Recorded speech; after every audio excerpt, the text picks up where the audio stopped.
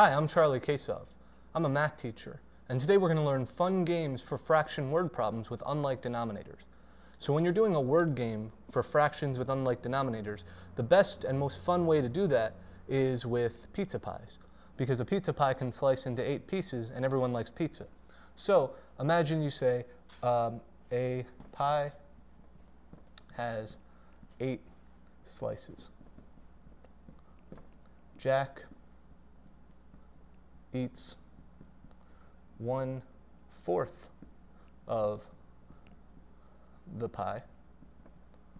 Bob eats one third of what's left.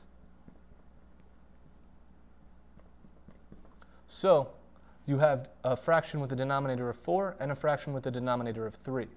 So what you can have the student do is then they can draw the pie and say, okay, we had eight slices.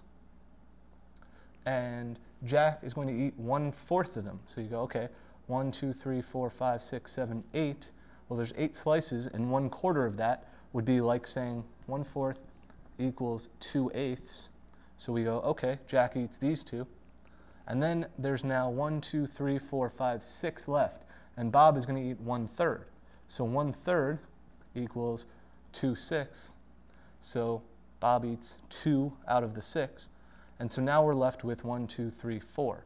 So the question in the word problem might be how many slices are left, which would be four, or what fraction of the original is left, which would be four eighths, or one half.